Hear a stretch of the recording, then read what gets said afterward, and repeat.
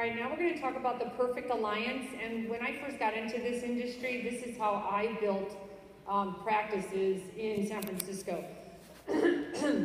Sometimes your circle decreases in size but increases in value. You're getting a lot of ideas here, and this one I really like because it's executable, and once you've done it, it's done. So think about who you, this isn't about quality or quantity, this is going to be about quality. And it's the quality of a relationship that you can set up in your community. So you always want to start with who do you already know? Specifically, who do you already know who gives you money and who you give money to?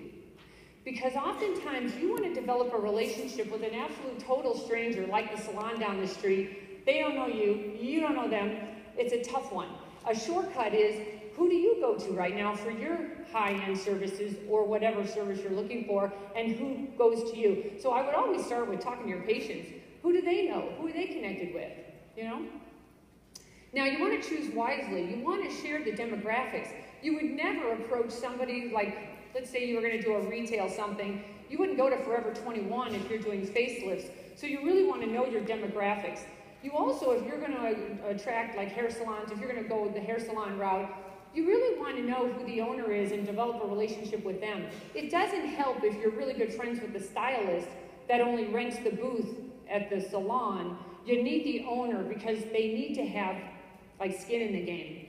And also, they've got to be tech savvy in today's world. You're trying to do something together with them for what benefit? To grow both of your businesses. This isn't a one-way street. It's a it's a win-win. So they've got to have a database. It's got to be in an, in Excel file at least. They have to, so many um, places have a database, but they're going to show you the paper files they have.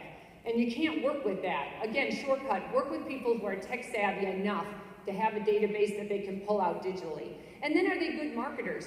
The best alliances you can have are those who have a really good list that follows them because they have a relationship with that group.